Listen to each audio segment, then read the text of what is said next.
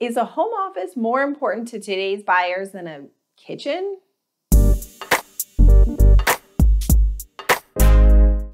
Hi, and welcome back to my channel. If you're new here, my name is Samantha, and I'm a realtor in Northwest Atlanta. You know, my husband and I have recently started the journey of our own home search down here in the Atlanta area. If you've been following along for a long time, you know, we relocated here last year from New Jersey. So we started our home buying process. And one of the top things on our home search list was making sure we had enough home office space for both him and I to work. And of course, that got me thinking about how last year I had several buyers that needed home office space, and that was a priority to them. So it got me thinking how important has the home office become to today's home buyers?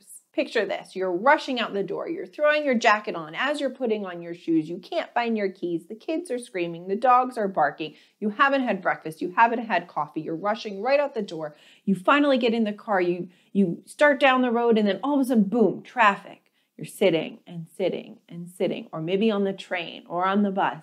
And then you finally get to where you're going and you're getting out of your car and you're rushing around and you're rushing right past your favorite coffee shop with no time to stop and actually get that coffee to sit down in your desk just in time. This has really been the way movies and TV shows have portrayed the chaotic morning commute. But there is some truth to it, isn't there? Well, certainly last year changed that for a lot of people.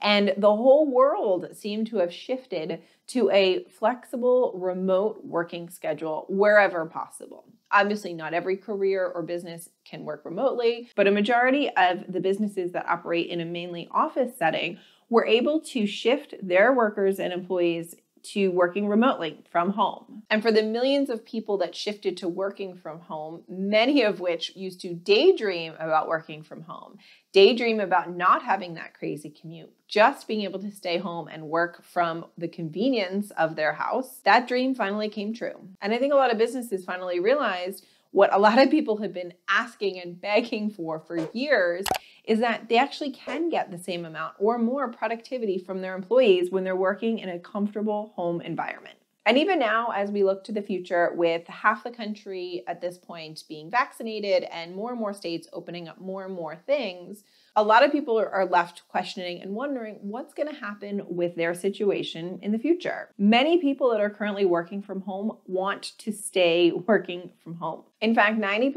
of the people that are working remotely today plan on staying remote for the foreseeable future forever in their career, even if it's on a part time basis. And 60% of those people said that if their current employer does not offer some sort of flexibility or remote work, that they would leave and find another job.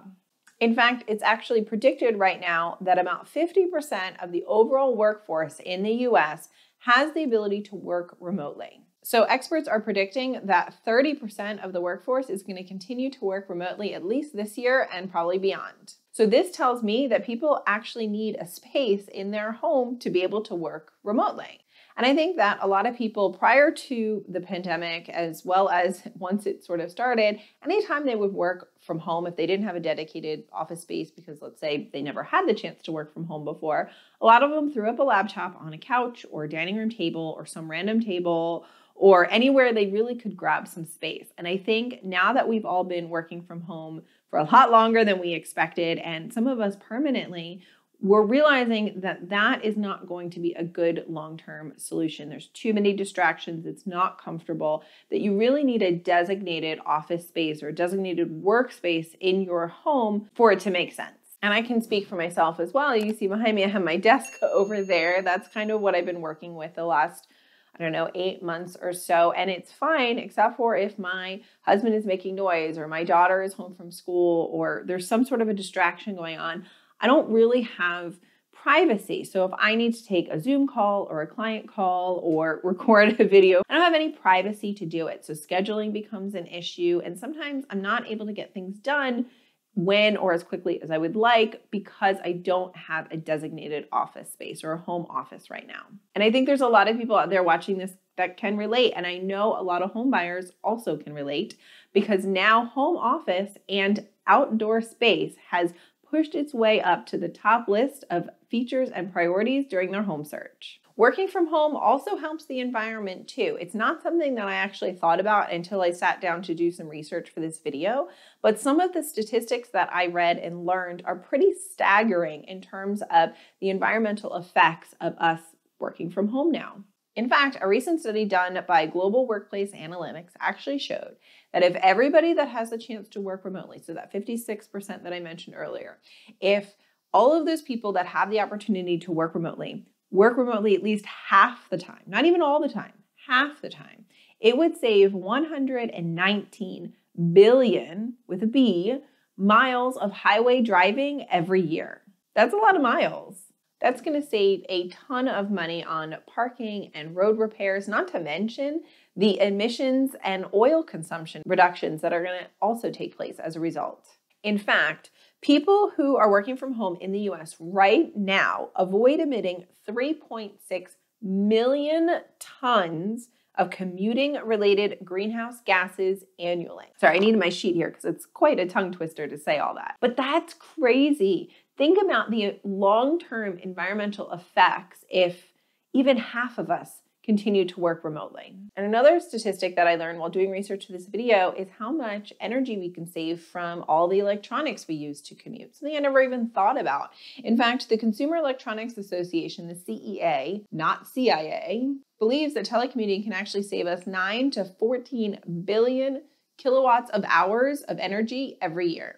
So, what does this all mean to the buyers in today's market? What does it mean when it comes to their home search? We're seeing a huge migration of buyers out of the big metropolitan areas, out to more of the suburban and rural areas. Again, because commuting time is no longer an issue, but they want space. They can get more house, more chance for that home office, and more outdoor space the further away from the metropolitan areas that they go. And we're already seeing that trend. And in a recent study done by Commercial Cafe, 47% of people believe that having a dedicated workspace actually improves their productivity. And I tend to agree. If you're working from your kitchen or dining room table, you're going to have a lot of distractions, like I mentioned earlier. And you also have a challenge with finding that work-life balance. If your, you know, laptop's right next to where you're cooking dinner, then you really have never been able to shut work off. And it's important that you're able to do that. So having a designated home office, especially one with a door that you can go into and close, you know, when you start your day and leave and close behind you when you leave, it's going to improve your overall work-life balance. And I was sad to learn that nearly half the people that are working remotely don't have that designated workspace. Most of them are doing just that, working in kitchens or dining room tables or wherever they can grab space. And only about 30 ish percent have a designated workspace. And roughly 58% of the people that are working remotely now do have plans in the near future to move, to rent or purchase a home that's larger that can give them that home office space. You're going to see buyers, if they were previously looking for, let's say, a three bedroom, have now bumped it up to a fourth bedroom because they plan on using that fourth bedroom as an office. Or they're specifying to us as realtors three bedrooms with dedicated office space, maybe in a basement, or even if a home, some of the newer homes have de- dedicated office spaces, they can't be a bedroom, maybe there's no closet. Um, that's all becoming really increasingly important to buyers during their home search. So previously, small rooms, maybe that were too small for a bedroom, that agents and sellers really didn't know how to identify. Sometimes they were left empty because they wanted the buyer to imagine what their needs are. What we're seeing now is that those awkward spaces and those smaller rooms and even a true bedroom being converted and staged and showing as a home office or a home office slash guest room so that the buyers can really envision what their workspace is going to look like. You're also going to see agents in their listing descriptions and in their room descriptions now starting to specify office space more often. In fact, between March of 2019 and July of 2020, there was a 16.8% increase in the term office used somewhere in the description for a home for sale. And here's a tip for you buyers out there not every MLS actually has a term office that you can search by. Some do not have that feature built in because it wasn't really a super popular search topic until very recently. So if that's the case, really work with your agent on the search parameters by either, you know, you looking for that fourth or fifth bedroom or whatever you need, but also really dissecting every listing, looking at the photos and the descriptions and the way the rooms are laid out because there could be a room labeled as something else that could be used as an office. For example, a playroom could be an office or a media room or an extra basement bedroom could really be used as an office. So if you're looking for office space out there, stay open minded and make sure you really look through because not every listing is going to specify office.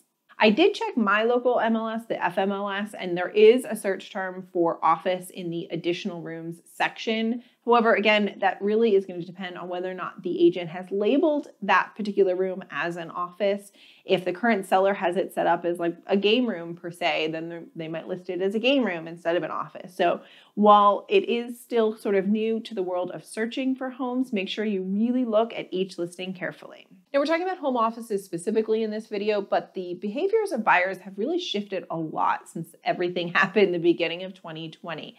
And while 46% of home buyers out there say that a dedicated dedicated home office space really is their number one priority. 42% said that the next important thing to them is actually outdoor space. Being stuck at home all the time, people want space to go outside, get some fresh air, do some fun activities with their families. So, outdoor space has really gone pretty high on the priority list recently. We're also seeing an uptick in people looking for at home gym space or basement space that they can convert to a gym, again, because they want to be able to keep everything at home or at least as much as possible. So, home office, outdoor space, and a little uptick in a home gym have become buyers' top priorities. So, while I don't think these things are beating out the kitchen per se, 100% of homes need a kitchen.